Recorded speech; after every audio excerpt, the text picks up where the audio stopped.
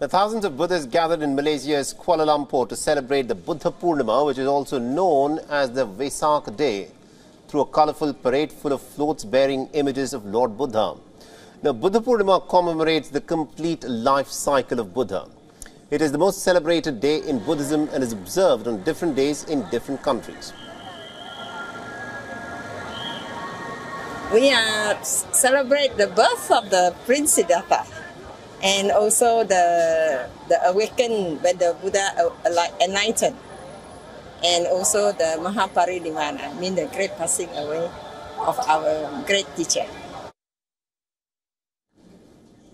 This year's Buddha Purnima delighted devotees with dozens of floats decked with lights carrying monks and performers. The celebrations were at a much larger scale compared to previous year's muted celebrations due to COVID restrictions.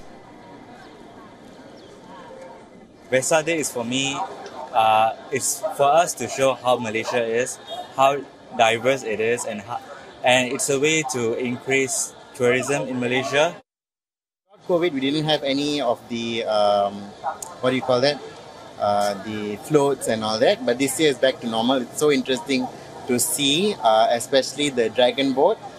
Um, so I'm glad that it's all coming back to normal. WION is now available in your country. Download the app now and get all the news on the move.